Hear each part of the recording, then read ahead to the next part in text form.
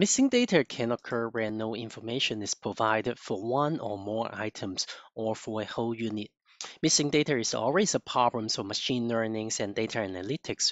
Very often, it causes a lot of issues in the accuracy of model predictions because of poor qualities of data caused by missing values. In these areas, missing value treatment is a major point of focus to make their models more accurate and valid. And sometimes many databases simply uh, arrive with the missing data, either because it exists and was not collected or it never exists. None is native to Python and is an object that is often used for missing data, while NaN is not a number, uh, which is a numerical value which is used in pandas to represent the empty or not values. Pandas treats nums and NaN as essentially interchangeable for indicating missing value of null value. There are several useful functions for detecting, removing, and replacing null value in pandas data frame. So let me show you an example to see how we deal with uh, uh, missing data. So first of all, we uh, just import the pandas as PD and then we read a CSV file. And this CSV file actually contains the step um, data um, in the in the past year. So we have the header and we also have the index column. So we set it as the first call uh, first row as a header, first column as the index column, and then we extract the value from this data set. So let's see what we have in this data set. Uh, I just want to show you the first eight row to give you a feel of what we have in this data set. So we have the open, high, low, close price, and then we have some uh, some time series of data, and then there's some missing data right here. So let me show you an example to see how we deal with uh, uh, missing data. So first of all, we uh, just import the pandas as PD and then we with a CSV file. And this CSV file actually contains the step um, data um, in the in the past year. So we have the header and we also have the index column. So we set it as the first call uh, first row as a header, first column as the index column, and then we extract the value from this data set. So let's see what we have in this data set. Uh, I just want to show you the first eight row to give you a feel of what we have in this data set. So we have the open, high, low, close price, and then we have some uh, some time series of data, and then there's some missing data right here. Of course, we can go through the whole data sets by observations to see whether there's any missing data, but actually um, pandas also provides uh, functions to let us to do so. So we can use a function is null or not null to find out whether there's a miss any missing data. Um, the values or the, the outputs from these functions just will return uh, the, the Boolean values um, for this um, data uh, for the whole data set.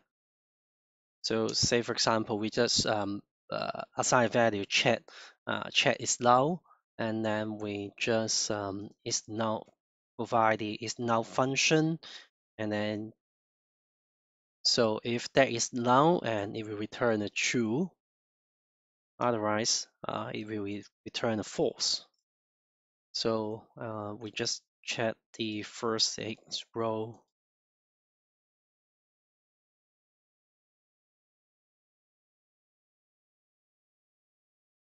So you can see because um, in this day, uh, March 24, uh, you can see March 24 is null. So it returns a true right here. So the other is just false because there's not null. Also, we can check uh, the other way around by checking whether it's not null. And no, by using not null function, and then just print the chat uh, should be not null and then we just uh, I just provide you the first eight row in order for you to know um, what not null returns.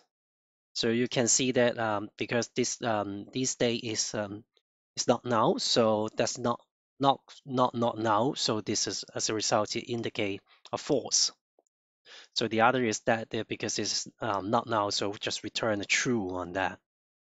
So once we confirm there are some missing data, so we, now we have to decide how we are going to deal with the missing data. So the simplest way is that we just um, take out this uh, this row um, by using the uh, drop NA. That means we are going to take out anything that any row that contains an NA. So axis equals to zero means the row, and then in place equals to true. That means uh, we are going to replace the whole data frame. Right now we just print out the function, uh, print out the uh, the results to naturally know uh, what we've just done. So we provide the uh, the first X row as well. So right now you can see that the March 24 is gone because we just um, used the drop NA to drop this uh, uh, to drop the whole row um, from the database. However, sometimes the data is very valuable. So instead of just um, dropping all of the row containing NAs, so sometimes we just would like to uh, fill fill in some value, and we can use uh, fill NA functions to um, to fill in by either value or by methods. So let me show you an example right here. So first of all, uh, we just drop the NA first, and then say, for example, we would like to uh, fill in the value by using mean or fill in the value by using median. Just uh, extract the calculate the median and calculate the mean of the um, of the of all for every column. So this um this will by using this dot mean function and dot median function that will return the um, mean or median of the um, of the open price, high uh, high high price, low price, and so and so. And then we just use the uh, fill NA function by providing the value. Let's say, for example, we would like to fill it with the mean.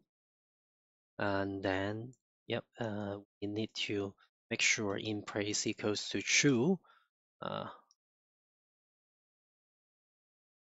so let me show you the results.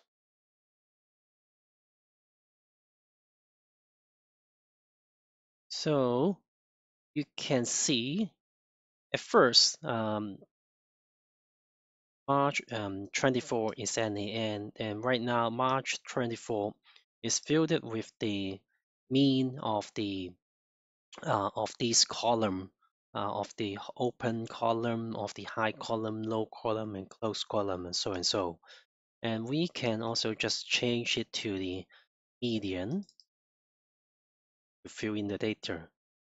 So right now you can see that um, March 24 that is uh, filled with the median. Of course, we can fill in other value that you feel um, that is uh, they are most appropriate. Say, for example, if you think that zero is um, the most appropriate, then you can just fill in zero or so and so. So this value is just um, what you are going to replace in um, for for for each of the column. But sometimes we might just want to uh, fill in these values to uh, to uh, to a specific column. So for example, for the open price, we would like to um, specify it. We just would like to use the in um, to re replace this value and the medians to replace the high, uh, but, uh, but rather not just assigning all of the rows are using the mean or median. So in that case, we have we can also just uh, make it specifics to the column. So we just um here we just uh, first of all we just call out that column first uh, in order for us to assign values to this column. So here I just use an example. I would like to replace the uh, the NAs just in the um, open column. So here, um, let's say I would like to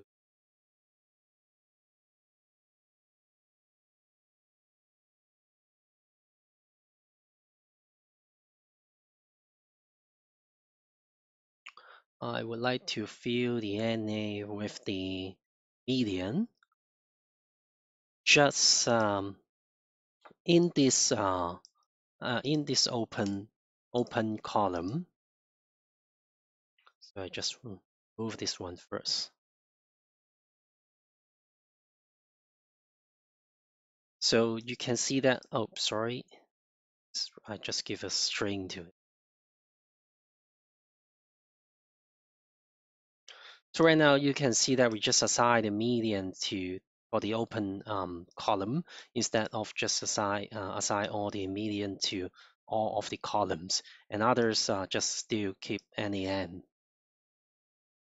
Instead of uh, filling the NA with uh, uh, with a with a with a value, uh, we can actually um, also fill in fill the NA with a methods.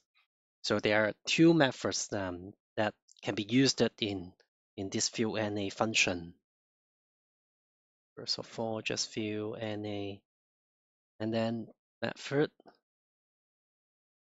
one is equal uh, one is called the uh, forward filling, and the other is called the backward filling. So uh, let me show you the backward filling first, and then in place equal to true. Second, remove all of them first.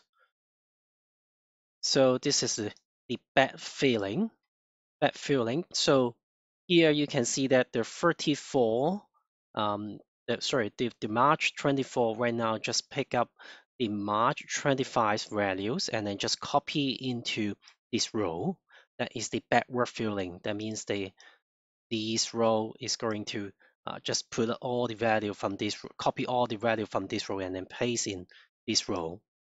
And then on the other hand, we can just use the forward filling. I guess you know the result.